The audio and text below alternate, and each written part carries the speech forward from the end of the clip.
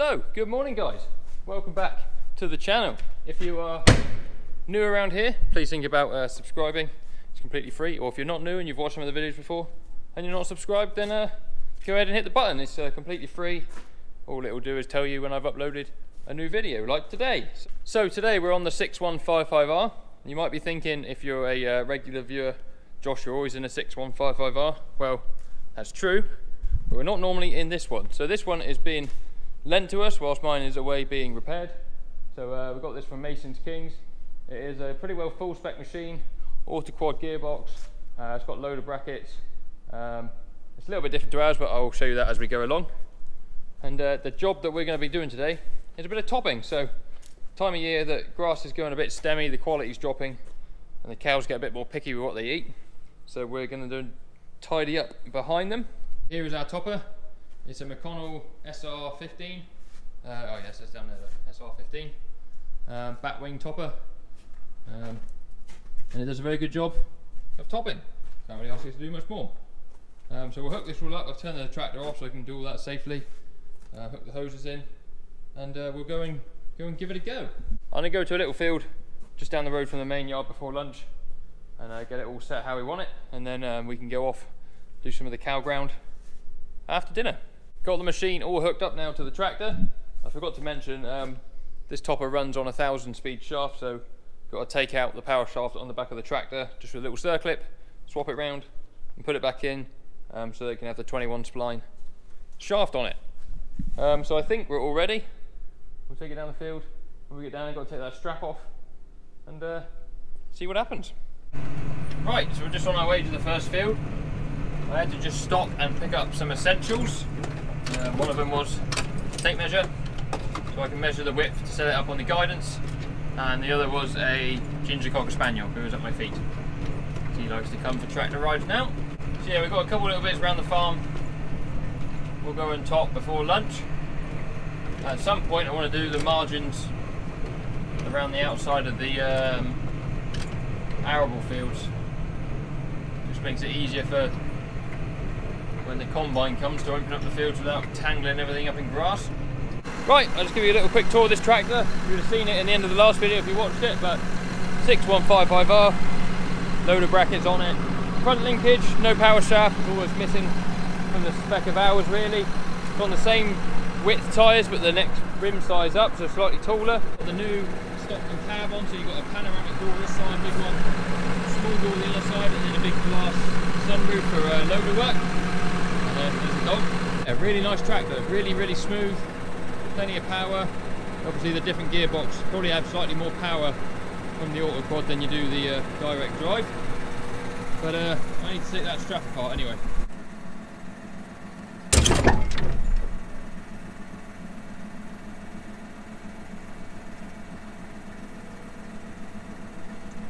Right, so the, the, wings will be able to fold down now on the spool. Just put the strap on that little hook there, it's not going to go anywhere.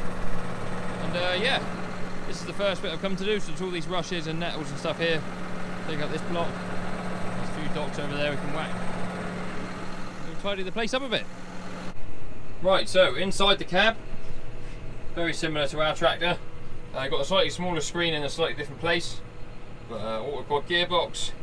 Because it's got a loader, it's got this nice joystick, so you could actually choose any of these buttons to do any functions you want really um, so we'll be using that in a minute um, no command arm so power shaft button there.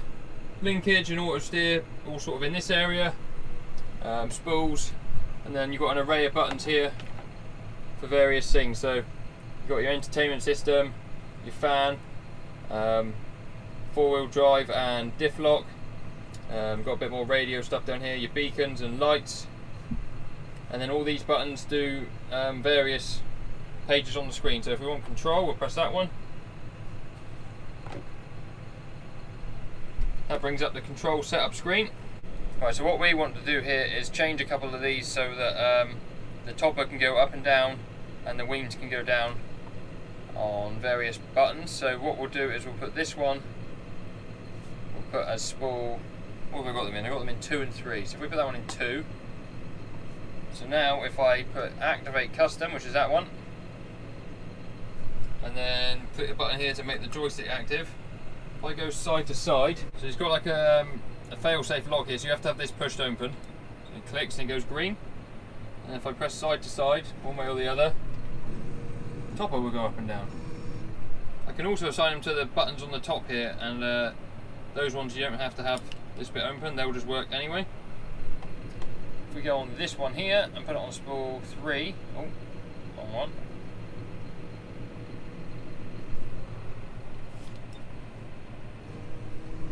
Fold our wings down. I'm actually going to remove that though, just because, um, remove assignment, it'll be easier to have the up and down on that one, so that'll be spool 2. If I put the spool 3 back on a manual one, or an electric one there, I can put it in float, so the wings will sort of do their own thing, and then I can have up and down on the joystick. It's pretty cool. Right, let's give it a go.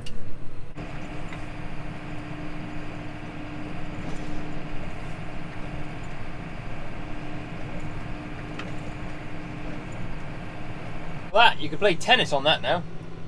Clean that up lovely. So just fold it up, I'm going to head back and have my lunch. I haven't put the strap on because when I get back to the yard I'll fold the wings down. It's a bit safer. Um, I might even sharpen them up before I go to the next place. But yeah, hell of a job done. Do a bit more filming uh, in the next place. we go. We've got loads of rushes to knock back. Um, so that'll be something for you guys to see.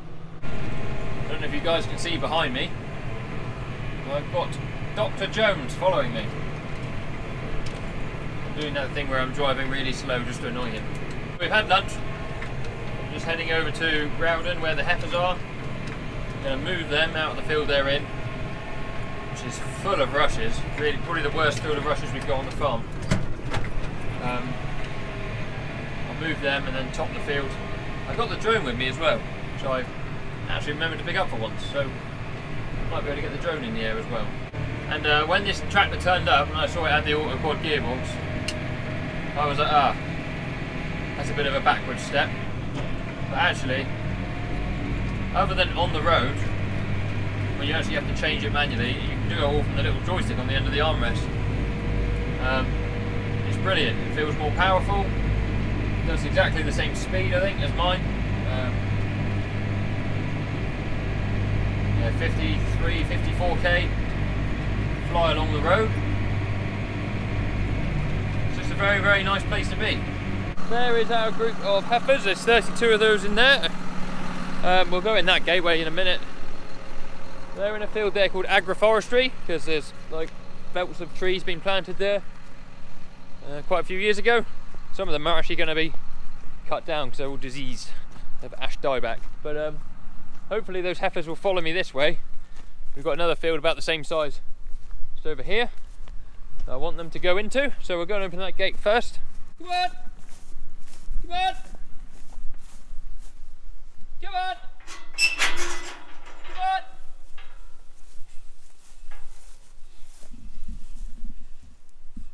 There's a little narrow belt of ground here that they don't really tend to come in. We might run over this with the topper. Problem is I can't turn around very sharp with the topper. Um, because of the wide angle shaft and also you end up rubbing the tyres on it. Which I don't really want to do in a tractor that's not ours, but we might leave this bit. Obviously you would have seen in the last video we took the balls out. So hopefully these are all in calf. We'll be scanning um, towards the end of August. So we know exactly what is and isn't in calf. There's always one or two that aren't. Hopefully the heifers, you want as many of them as you can in calf because that's your next step of genetics, isn't it? And uh, supposedly your best breeding animals. Come on then girls, come on, come on. Well, the heifers are playing hard to get at the moment, so they'll stay in there. I'll leave their gate open. I shut a couple gates across here, leave that one open down there. Um, if they want to, they can wander out whilst I'm topping. Yeah. We'll just do that a minute.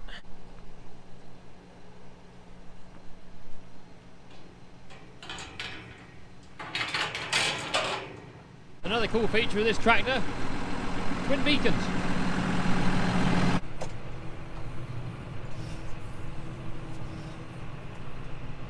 Try not to hit anything.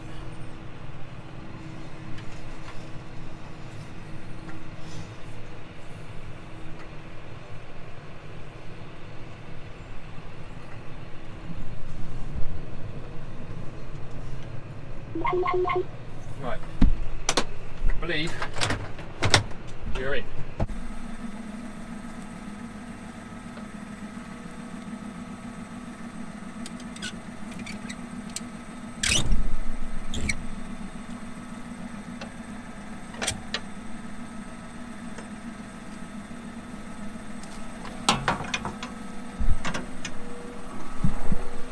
Right, let's do farming.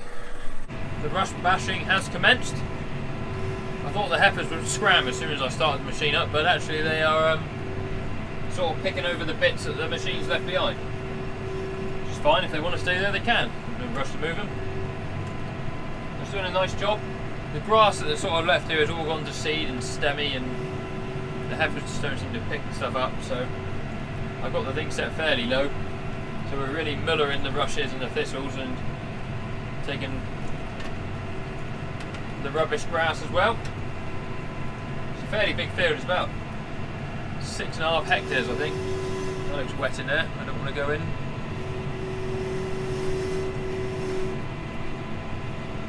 You don't want to have to be pulled out on a Friday afternoon, do you? Really mulling them back. Rushes just hate being topped repeatedly, so if you keep whacking them, eventually they'll go away and they won't come back. We've got another field that we weed wiped um, and that seems to have killed them as well. So different ways of dealing with rushes. In a minute I'll do a couple rounds and I'll set up some AB lines and then um, I've got the drone, I'll stick that in the air and you can see uh, where we are and what we're doing.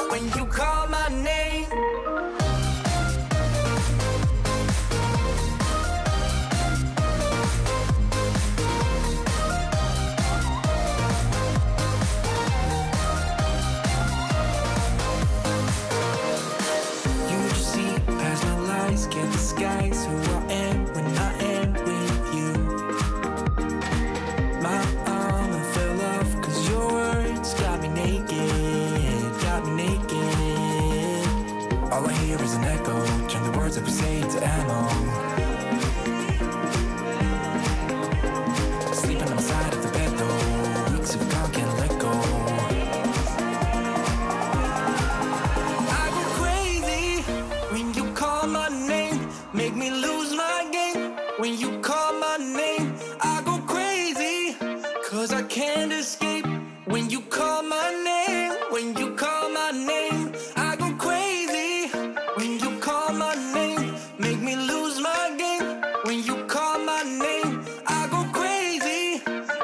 can't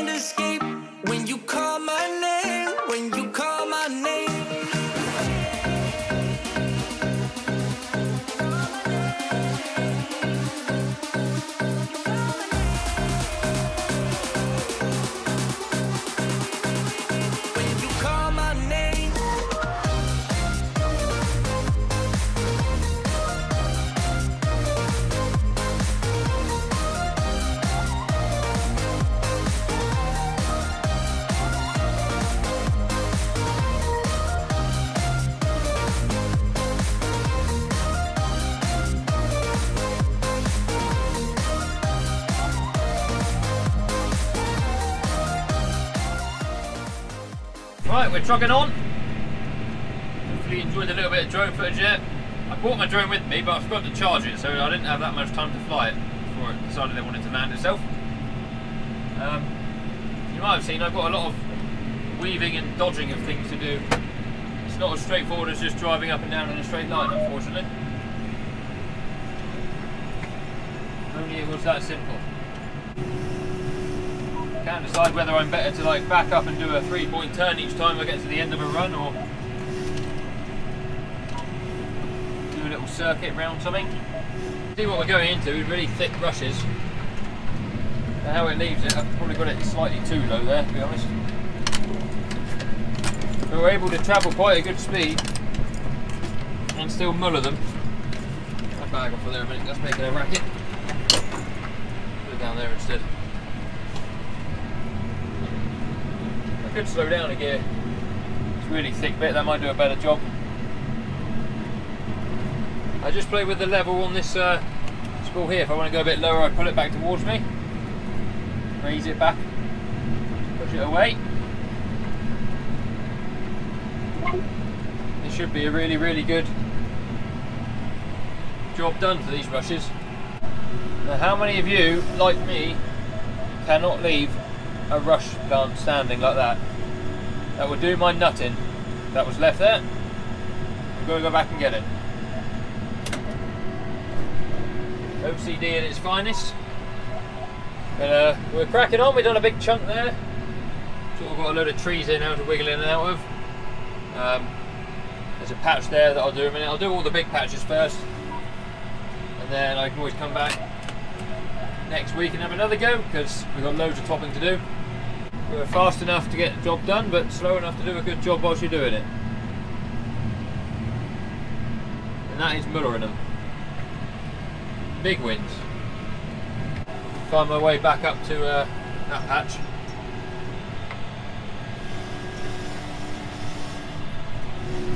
Get as tight as we can to the trees without hitting them. Get all that lot. Marine, get a few.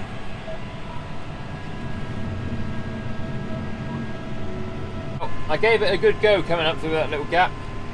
I got as far as about there and I couldn't get between those two trees so I had to fold up but they're just slightly too close together. Otherwise it would have been a perfect job. Got a nice wide avenue doing here at the minute.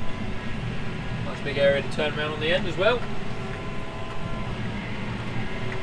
I was going to leave a bit just there because I did evict a pheasant and three chicks from this patch here they went in there so I thought I'd leave them there's two bits out there that I've missed I've got to go and get on my return leg in a minute. Can't be leaving rushes behind. It's going to look a hell of a map, that is, by the time I've done squiggles everywhere and bits and pieces. Hello there, heifers! I hope you're all in calf. Yes? What are you doing there? And they're off! Going in the front and not out the back. Very nice. No, we're too wide. It's no good.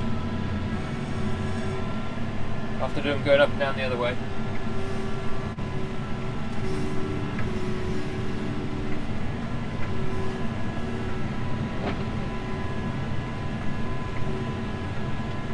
Right guys, I am on the home straight. One little pass to do along the bottom of this bit of wood. Or one and a half passes even. Knock back as much of these figures as we can. And uh, that may be done. I've done the rest of the field. John and Craig popped over to uh, check on the progress. Decided we'll leave the topper at Rowden and then um, that way next week we can have a bit of a campaign round here. Because Rowden's a bit of a wetter farm, do tend to get more rushes over here. Right guys, so that is us done. I've just unhooked the pipes and the power shaft on the top of there.